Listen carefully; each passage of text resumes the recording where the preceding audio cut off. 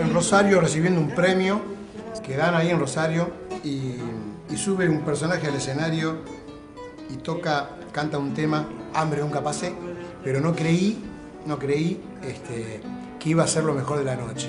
Te queremos hacer un disco, tenés que darnos el honor de ser tus productores. Y estoy, estoy tan contento, tan contento de... De, de darme la posibilidad. de- no, estoy contento de que vos me des la posibilidad a mí, de que, de que yo te conozca ¿no? y aprender este, eh, todas las cosas que él nos enseña permanentemente. Cuando vino Gogó, empezó a mostrar sus canciones y descubrimos o redescubrimos en él un compositor increíble, un autor y compositor increíble, porque es autor de las letras, es autor de la- es compositor de las músicas, con una musicalidad, con un swing, con, una, con un decir, con un fraseo impresionante. Yo soy como el más espectador acá porque estoy, soy el técnico del estudio y soy el que está haciendo las tomas del disco y ya vengo. Sí, pero tenés que dar la conformidad y escuchar y decir si es escuchable todo. Decir la responsabilidad que tenés, porque acá somos responsables todos, cada uno en una, en una forma u otra. Es una gracia la de ser espectador porque tengo el lugar de disfrutar muchísimo de lo que estoy escuchando y la sorpresa de ver lo que sucede desde afuera de alguna manera, ¿no? Y, y Gogó es maravilloso. El primer trabajo que yo hice en televisión, en el año 93, Canto Rodado, éramos un montón de chicos de 20, 21 años, algunos mucho menos, este, y uno de los actores que teníamos ahí en el elenco, el mayor, era Gogo, y era a que nosotros recurríamos para pedirle, pero todo el tiempo, consejos de cómo actuar, cómo, claro, con la luz, con la cámara, con nuestros compañeros, con el medio en sí.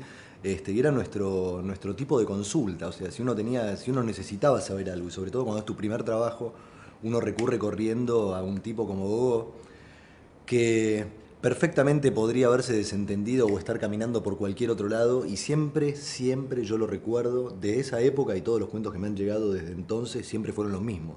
Que el tipo estaba dispuesto a darte toda una tarde entera para poder explicarte lo que vos necesitabas saber y lo sabe independientemente del talento de, de- de- ser uno de los últimos este, artistas completos en, en toda su en toda la palabra, este, tiene además la generosidad que lo hace ser el más completo de todos. Con lo cual, cuando, cuando llega esta posibilidad, le pedí por favor a los chicos que me dejaran formar parte de la producción de esto, porque es un poco devolverle a Gogó eh, un poco así de todo lo que hizo por mí y de todo lo que yo sé que hizo por pares míos, mayores míos y menores míos hoy.